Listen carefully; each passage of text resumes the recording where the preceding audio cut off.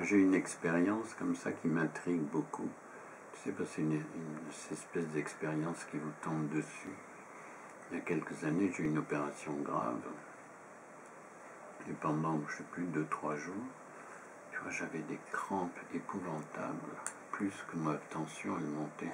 J'étais environné de machines qui se mettaient à sonner parce que ma tension passait à 25, 30, je sais plus quoi. Et donc ces douleurs comme ça, ça m'occupait complètement. Je me rappelle, j'ai passé une nuit comme ça, étrange. Tu vois, j'avais le sentiment, je ne sais pas comment ça a débuté, que j'avais devant moi un texte. Ça, tu vois, écrit des lignes, des lignes, des lignes. Et si je les lisais à toute vitesse, surtout sans perdre le fil, j'avais plus mal cette image, elle est très forte en moi, comme ça.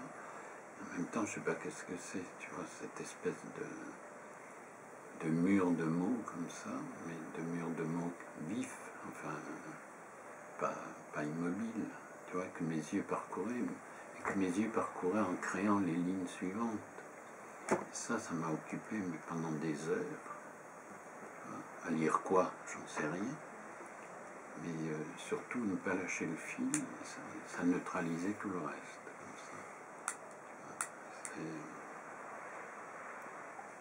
J'étais impressionné, parce que récemment j'ai relu un texte de René Demal qui s'appelle Une expérience fondamentale, où il raconte que assez jeune, il, il s'est asphyxié avec je ne sais plus quel produit chimique,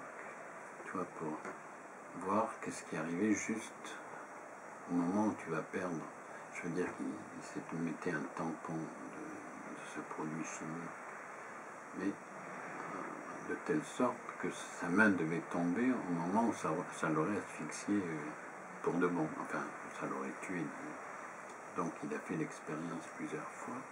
À chaque fois, il a vécu une espèce de, truc un peu comme ce que je te raconte plus, euh, je veux dire, lui, l'ayant abordé consciemment, il décrit ça beaucoup mieux que je ne peux faire avec ma plaque de mots qui n'en finit pas. C'est un phénomène comme ça de, succession très rapide de, je sais pas, pas de phosphène, quelque chose comme ça, tu vois, qui, le monde se précipite en étincelle vers un centre qui se dérobe.